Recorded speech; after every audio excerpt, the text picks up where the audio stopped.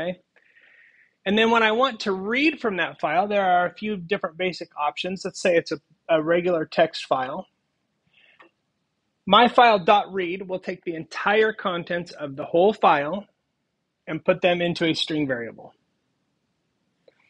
My file.read with an argument, it takes an integer. If I give it an integer, it will read that number of characters from the file, starting at the beginning. Okay? So if I read 10, it will give me the first 10 characters. I can also read a file one line at a time. This is really helpful for processing CSV files or any kind of data file, right? So I can read it one line at a time.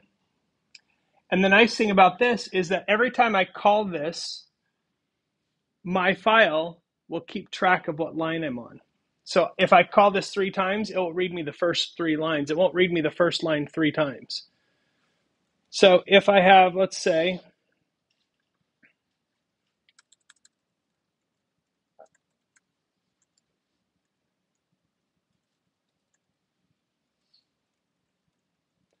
I have a text file that looks like this, it's just plain old text.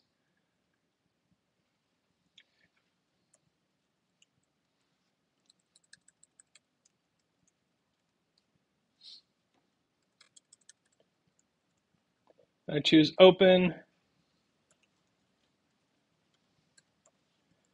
Sometimes PyCharm freaks out a little bit. And I open it for reading. Okay.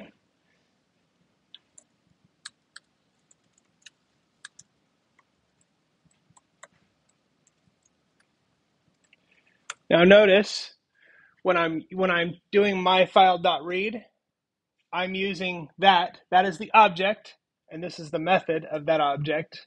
So it's a function that belongs to my file. So my file.read, and I'm giving it no arguments.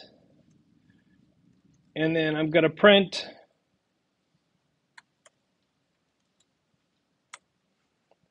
or actually I want to print the text variable, str text. There we go. So if I want to print that, so when I run that, it just prints out what's in that file. Now, if I wanted to read only the first 10 characters of that into the variable, I just add that argument. Just gives me the first 10 characters, which happens to be line one. If I go 15 characters, it'll stop halfway through line two. By the way, that integer uh, includes invisible characters, line breaks, spaces, that sort of thing. Those are all characters. So you have to figure that into your uh, thinking. So if I go read line,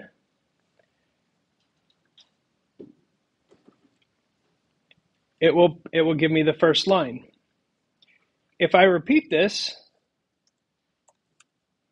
three times, it will print each line. Okay, so each time I'm reading read line, okay, each time I read read line, it's going to the next line of that file and it keeps track of which one I'm on, which is really nice because then it allows me to process that file one line at a time using line breaks. So reading from a file is really just using one of these two methods with or without argument and it's putting that into a string variable that we can then do all kinds of things with.